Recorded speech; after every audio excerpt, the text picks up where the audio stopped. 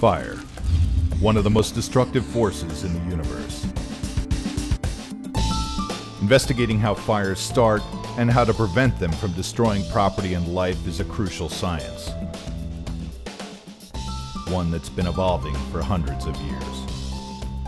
Just over 60 years ago, a new organization was formed to bring together experts in fire investigation to create a central forum to support, advance, and help to create standards for this important field. The organization was named the International Association of Arson Investigators.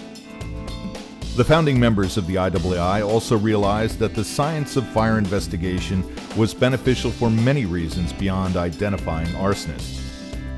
Determining the cause of even accidental fires proved to be the surest way to create improved safety standards and practices that could benefit everyone. I've been in fire investigation over 30 years. I remember the first time I testified in court as an expert witness. I walked in, the judge says, what do you do for a living? I said, I'm a state fire marshal, and he said, you're an expert. That day is no longer with us.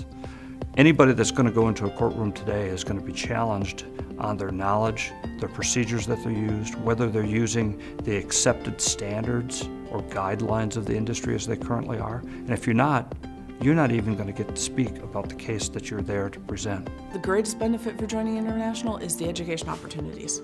They have such a phenomenal education program, both through the conferences and through CFITrainer.net. And then the networking would be number two, because you can't do it alone. And the fire industry is phenomenal as far as sharing information. You know, there, there, are very few places that have education in the field of fire investigation and its related disciplines beyond a, a very basic level. And they do those very well, and, and we are also part of that.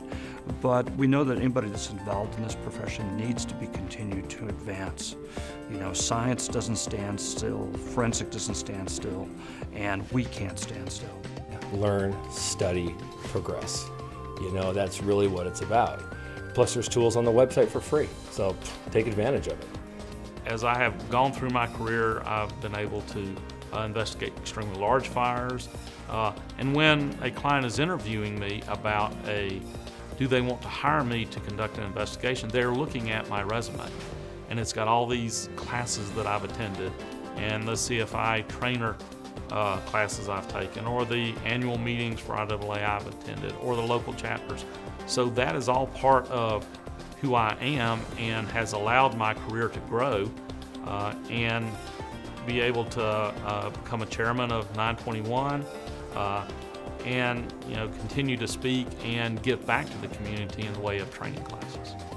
I'm still just trying to work to get you know the basic level and uh, I, I, think IAAI is a great tool to, to get to the places where you want to go and uh, the more trainings I come to, the more people I meet, it just, just you know, fuels my, my desire to, to learn more. There's a lot of uh, employers right now that look at the IAAI CFI, Certified Fire Investigator Program, as one of the requirements if you're going to be employed by them as a fire investigator. These credentials just aren't something that you take a 40-hour class and you test and you receive. It's something that is a career building process that never ends.